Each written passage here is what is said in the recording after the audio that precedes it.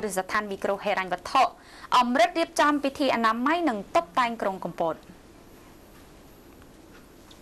កាលពីព្រឹកថ្ងៃទី19តុលាឆ្នាំ2015គ្រឹះស្ថានមីក្រូហិរញ្ញវត្ថុអមរិតបានរៀបចំពិធីសម្អាតទីក្រុងតាមដងវិថីនានានិងផ្ដល់សម្ភារៈបរិក្ខារមួយចំនួនជូនសាលាខេត្តកំពតដើម្បីចូលរួមកែលម្អសោភ័ណភាពក្រុងបន្ថែមស្របតាមទស្សនវិស័យបរិស្ថានស្អាតរមណីយដ្ឋានស្អាតសេវាល្អ លោកជួងស៊ីវុតអភិបាលរងខេត្តកំពតបានសម្ដែងការសាទរដែលអមរិតបានផ្ដល់ជាសម្ភារៈសម្រាប់តុបតែងក្រុងនិងបរិខាមួយចំនួនទៀតសម្រាប់ជួយដល់មណ្ឌលសុខភាពក្នុងខេត្តពិសេសគឺសម្រាប់អបអរសាទរក្នុងឱកាសបុណ្យសមុទ្រខាងមុខនេះដែលនឹងប្រព្រឹត្តទៅនៅថ្ងៃទី11 12និង13ខែធ្នូឆ្នាំ2015សម្ភារៈនិងបរិខាដែលអមរិតផ្ដល់ជូនរួមមានបងអង្គុយចំនួន67បង